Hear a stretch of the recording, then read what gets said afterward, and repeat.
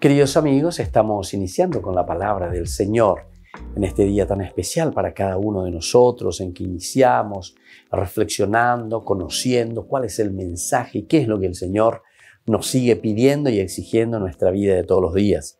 Leemos del capítulo 6 del Génesis, 6.8, 7.1, 5. Haré llover sobre la tierra, es el diluvio universal.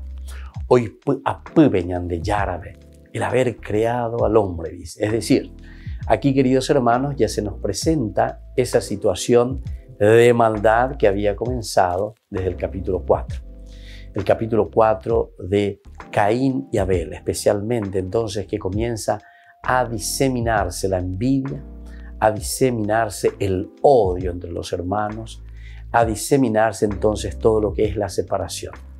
Y aquí encontramos cómo esa comunidad, cómo esa iglesia se va separando, se va dividiendo, se va peleando. Y por eso dice, hoy venían de Yara. Y aquí viene el diluvio universal. Somos nosotros quienes creamos este caos, queridos hermanos.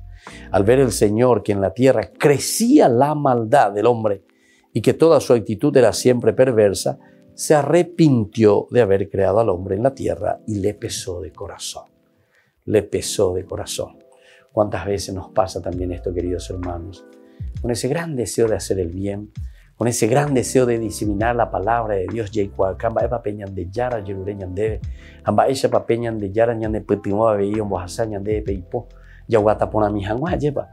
Pero sin embargo, nosotros dice, aquí por lo menos es bien clara la situación.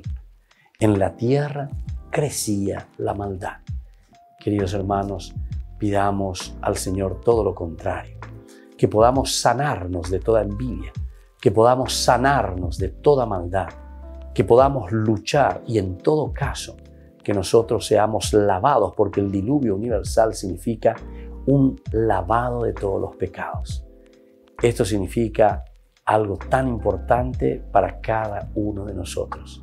Dejarnos lavar por Dios, dejarnos purificar por el Señor en nuestras intenciones, dejarnos verdaderamente tocar en lo más profundo con la gracia de Dios y que la bendición del Señor descienda sobre ustedes, el Padre y el Hijo y el Espíritu Santo.